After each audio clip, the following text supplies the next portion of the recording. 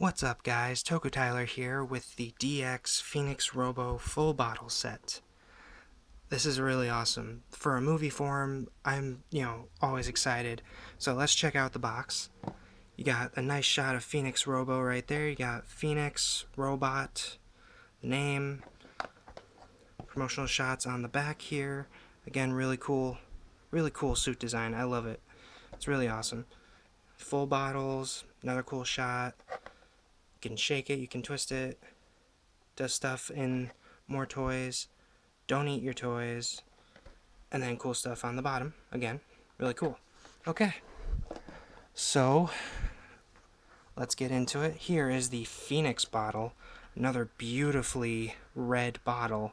It's actually colored in the image, which is kind of weird because I compared it to Rabbit, which is all red, but it's like this transparent red plastic, whereas this is red plastic, but it's colored in compared to the rest of the bottle.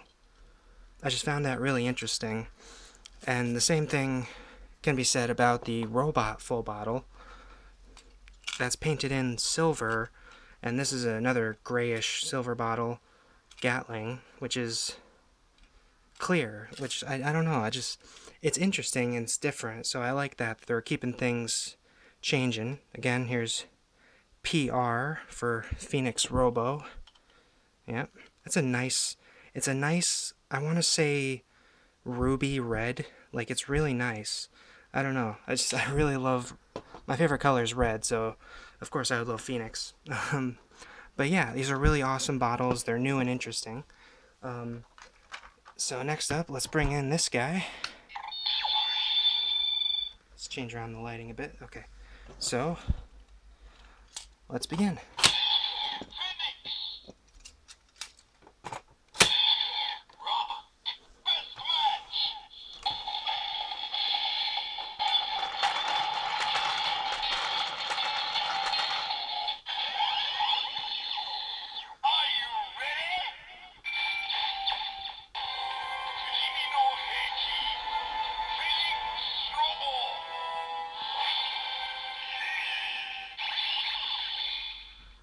That's really cool.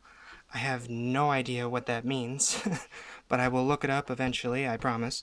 Um, but just really awesome. Again, uh, with full bottles, you just get, you know, the best match sounds, and you can go for the finisher.